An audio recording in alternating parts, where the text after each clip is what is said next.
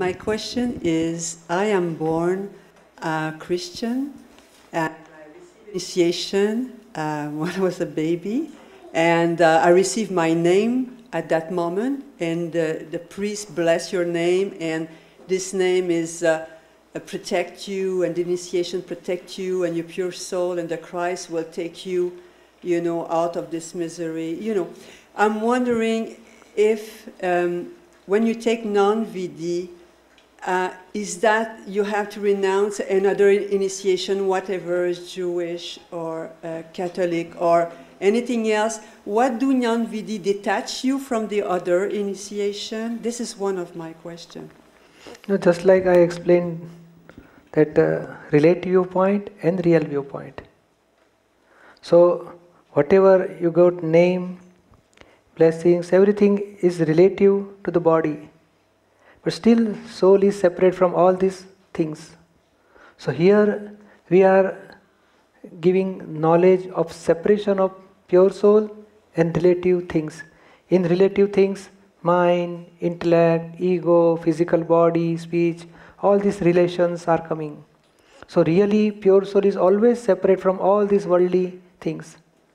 So what see in in worldly religion they will say, God will save you, they will come at the time of death, and they will protect you.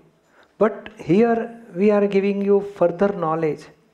Soul is immortal, it never dies. So, body is going to die.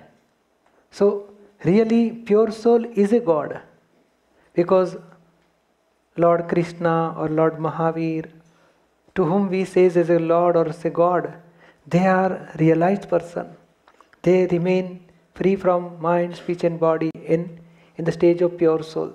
Pure soul is a God. So when you we are giving you knowledge, it's a knowledge of pure soul. And when it gets absolute stage, it is a pure go it is a God. So so and we are getting such knowledge that I am immortal, I am permanent, I am not going to die, I am not going to take any birth. So this is the by this knowledge we are not losing that whatever we got real uh, in relativity, but we are getting further advanced knowledge. So you are not losing, you are getting advanced knowledge, and this knowledge they will by this knowledge you will be free from all this suffering of that ego or insult or stress or worries as well as you feel that understanding, I'm not going to die, I am permanent. You understood? Yeah, I understand.